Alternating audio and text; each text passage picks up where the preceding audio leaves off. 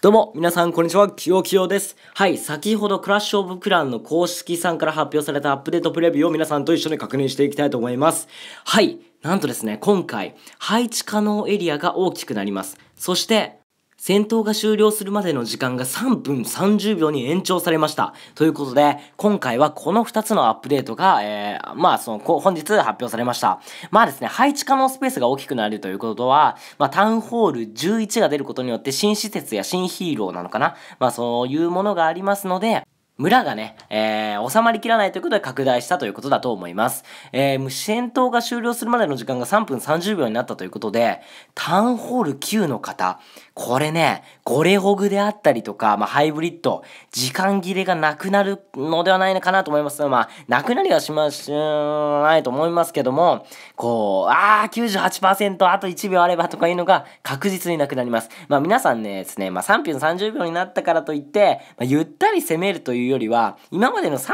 分だと思って攻めて、まあちょっとこう30秒猶予があるよぐらいの方がいいかもしれませんね。ゆったり攻めすぎると多分また時間切れになると思います。ということで、あと、あとですよ皆さん。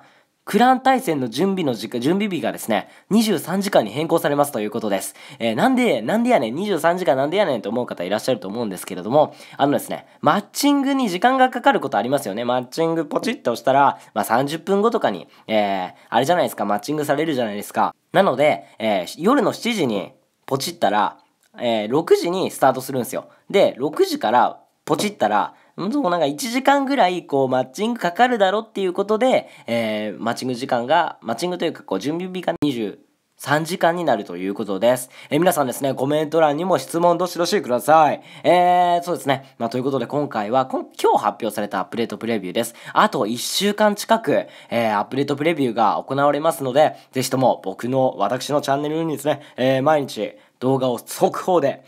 皆さんにお届けしたいと思いますので、そちらの方ぜひともよろしくお願いいたします。ということで、ご視聴ありがとうございました。じゃんじゃんチャンネル登録してね。チャンネル登録をしていただけると私のモチベーションがぐーっと上がりますので、ぜひとも皆さんチャンネル登録よろしくお願いいたします。